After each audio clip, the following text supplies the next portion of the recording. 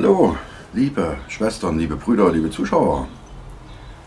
Sonne scheint, Sommerwetter, die Wahlen rücken näher und deswegen heute mal ein nicht freimaurisches Video. Als politisch interessierter Mensch habe ich mich natürlich in den letzten Tagen und Wochen damit beschäftigt, wen werde ich wählen. Eigentlich habe ich eine relativ klare Vorstellung, wen ich wähle.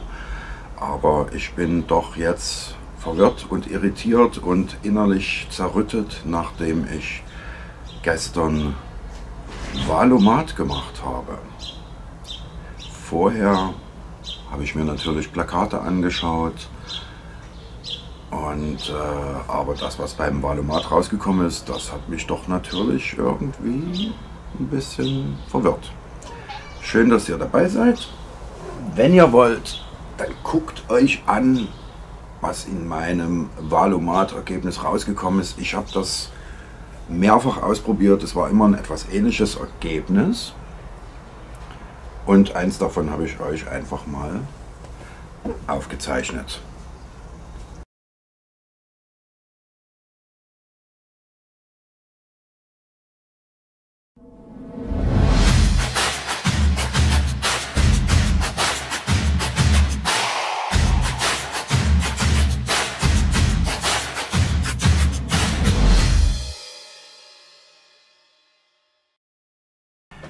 So, ihr Lieben, jetzt gucken wir uns das Ganze mal real an. Also, Valomat, Bundestagswahl 2021. Wir drücken hier auf Start.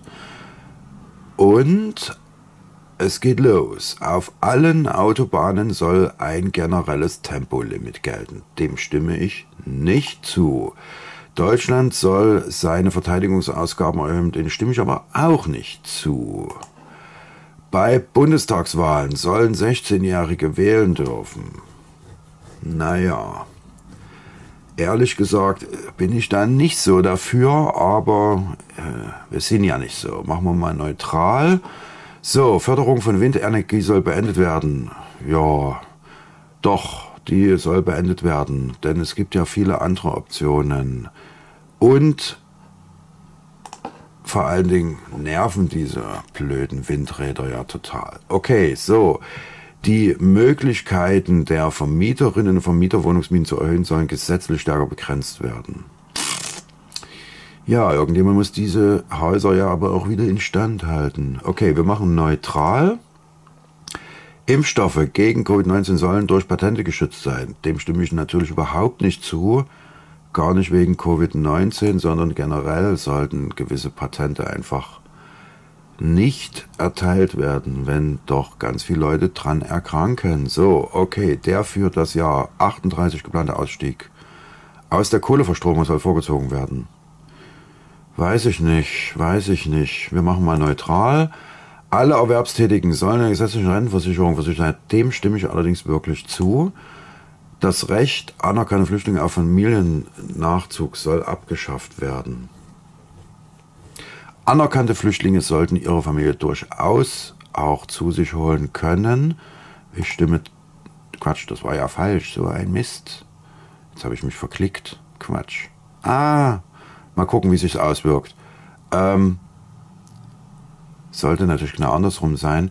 Okay, auf dem auf den Umsatz, der in Deutschland mit digitalen Dienstleistungen erzielt wird, soll eine nationale Steuer erhoben werden. Nö. Machen wir so. Traditionelle Familienvater, Mutter, Kinder stärker als andere Lebensgefördert. Ja, doch, dem stimme ich zu. Spenden von Unternehmen an Parteien sollen erlaubt sein. Neutral. BAföG unabhängig vom Einkommen der Eltern. Dem würde ich zustimmen. Auch die reichen Kids können ja mit ihren Eltern überworfen sein. In Deutschland soll es generell möglich sein, neben der deutschen eine zweite Staatsbürgerschaft. Nein, dem stimme ich nicht zu. Wozu braucht man mehrere Staatsbürgerschaften? Bundesbehörden sollen in unterschiedliche Geschlechtsidentität sprachlich berücksichtigen. Gender nervt.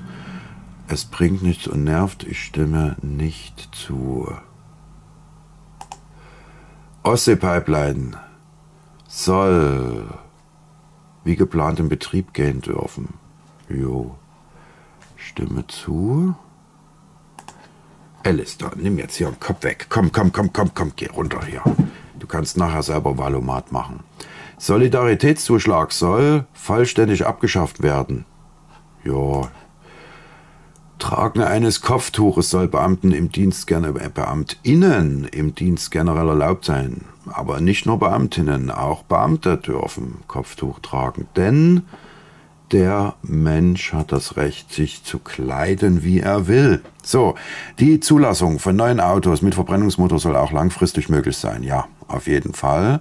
Warum soll man etwas abschaffen, was sich doch sehr gut bewährt hat und sehr technisch weit entwickelt ist? Der Bund soll mehr Zuständigkeit in der Schulpolitik erhalten. Ja, nö, eigentlich ja doch nicht, ne? Oder doch? Ich weiß es gar nicht. Schwierige Frage. Überall dasselbe? Keine Ahnung. Ich mache neutral. Bund soll Projekte zur Bekämpfung des Antisemitismus stärker finanzieren. Ja, ich habe keine Ahnung, wie er jetzt, wie es jetzt finanziert wird. Wir lassen es mal auf neutral. Chinesische Firmen sollen keine Aufträge bekommen für Kommunikationsinfrastruktur. Doch, das sollen die doch bekommen. Warum nicht? Ja, abhören können uns ja auch andere. Also ich stimme nicht zu. Der Staat soll weiterhin für Religionsgemeinschaften hören. Auf keinen Fall. Der Staat hat sich hier rauszuhalten und soll sich davon fernhalten. Der kontrollierte Verkauf von Cannabis soll generell erlaubt sein. Doch.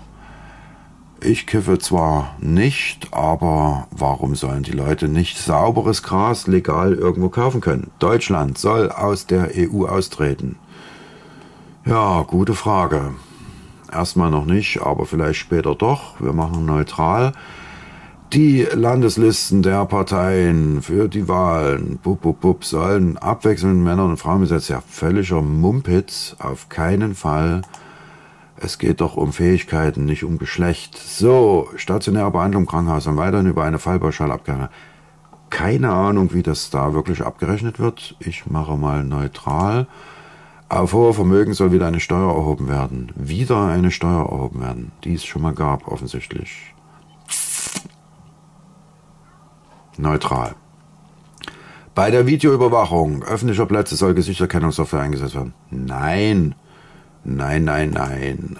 Auch Ehepaare ohne Kinder sollen weiterhin steuerlich begünstigt werden. Warum eigentlich? Nö, nein, äh, nein, nein, nein. So, ökologische Landwirtschaft soll stärker gefördert werden als konventionelle. Klingt erstmal gut, aber ich weiß nicht genau, wie das wirklich läuft. Ich mache neutral.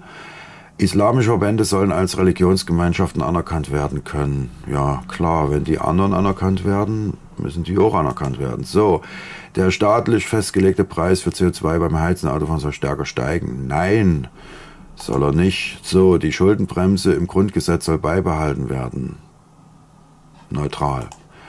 Asyl so weiterhin nur politisch verfolgt, naja, dem stimme ich tatsächlich zu. Warum? Weil der Begriff Asyl ja sonst irgendwann völlig sinnentleert wäre. Der gesetzliche Mindestlohn soll spätestens Bob auf 12 Euro erhöht werden. Neutral. Flugverkehr soll höher besteuert werden. Weiß nicht, wie er jetzt besteuert ist. Neutral. Unternehmen sollen selbst entscheiden, ob sie ihren Beschäftigten Homeoffice erlauben. Ja, auf jeden Fall sollen die das selbst entscheiden. Okay, wir haben die Gewichtungen, die Thesen, so, und dürfen jetzt nochmal verdoppeln. Blackjack-mäßig dürfen wir nochmal verdoppeln. So, Patente für Impfstoffe, das verdoppeln wir mal. Rentenversicherung verdoppeln wir auch nochmal. Ähm, Traditionelle Familien verdoppeln wir auch nochmal. So, okay, das reicht. Jetzt gucken wir mal, was hier abgeht. Jupp. Parteien auswählen. Parteien auswählen. Wir wählen alle Parteien aus. So, und es geht zum Ergebnis. Jetzt bin ich sehr gespannt. Volumat, Volumat, Volumat. Die Unabhängige wer immer das ist. Die Partei Unabhängige setzt sich für mehr Bürgerbeteiligung und direkte Demokratie ein. Sie fordert die Einführung von Volksentscheiden auf Bundesebene, setzt die Freiheit und Forschung. Ja, klingt gut. Doch, damit könnte ich mich tatsächlich identifizieren, obwohl ich sie vielleicht doch nicht wählen werde. Der dritte Weg, alter Falter, alter Falter. Ich bin ein Hardcore-Nazi. Aber auf Platz 3 bin ich doch wieder für eine menschliche Welt. Das Wohl und Glücklichsein aller. Wie geht das? Ich weiß es nicht. Sie steht, die menschliche Welt, 13 gegründet, setzt sich für eine ganzheitlich spirituelle Lebensführung ein. Doch, das gefällt mir. Sie steht den staatlichen Maßnahmen zur Bekämpfung von Covid-19 kritisch gegenüber. Ja, ich auch, muss ich sagen. Abschaffung der Massentierhaltung finde ich okay. 5G-Netzausbau ist wiederum überhaupt nicht mein Thema. NPT, Mensch, die gibt's sogar noch. Ich bin wirklich ein Nazi, ich merk's langsam. Jetzt kommt die Basis. Okay, Team Totenhöfer. Jetzt gucken wir doch mal, wer hier am Ende wählt. Es steht, wen ich. Oh, hier ist die FDP, die ich sonst immer wähle oder gewählt habe. Und wer steht am Ende? CDU, Grüne und SPD. Ich bin ein Staatsfeind. Ich bin ein Staatsfeind. Ich bin ein Staatsfeind. Genau die stehen bei mir ganz am Schluss. Ja, liebe Freunde des gepflegten Kerzenscheins, NPD und menschliche Welt und dritter Weg und die Unabhängigen. Ich weiß nicht, langsam komme ich zu dem Schluss, dass ich eine gespaltene Persönlichkeit haben müsste. Ja, ich bin mal gespannt, was ihr bei Valomat für Ergebnisse habt. Ich habe das natürlich mehrfach hier gemacht und bin auch zu verschiedenen Ergebnissen gekommen. Aber das hier hat mir am besten gefallen. Gut, okay, einmal habe ich mich verklickt. Vielleicht ist das der Grund, warum ich plötzlich zum Rechten geworden wurde, ge gewählt wurde, gemacht wurde. Ich will trotzdem was anderes. Ja, das war mein Ergebnis. Ja, was hat das Ganze jetzt zu sagen? Was hat das Ganze für mich zu bedeuten? Bin ich jetzt doch Nazi geworden, ohne es zu merken? Vielleicht bin ich ja Transnazi, ein Nazi gefangen im Körper eines Esoterikers, denn ungefähr darauf würde ja dieses Wahlergebnis hinlaufen. Oder liegt es vielleicht doch am Valomat, dass bestimmte Fragen irgendwie gar nicht vorkommen, die viel relevanter sind? Ich weiß es nicht. Schreibt es doch einfach mal in die Kommentare, wie ihr das seht. Mich würde mal interessieren, ob ihr euer eigenes Valomat-Ergebnis äh, tatsächlich so seht, wie ihr vorher gedacht habt. Oder ob ihr was völlig anderes dabei erzielt habt. Was ich allerdings noch viel interessanter fände, wäre, wenn jede und jeder von euch wirklich mal die Partei wählt, die bei Valomat rausgekommen ist. Ich glaube, dann hätten wir eine völlig andere Zusammensetzung einer Regierung. Aber das wird wahrscheinlich ein Wunschtraum bleiben. Und die alteingesessenen Parteien werden wieder das Rennen machen. Ich bin gespannt. Schön, dass ihr euch das Video angeschaut habt. Knowledge ist ein Inside-Job. Bis bald. Tschüss.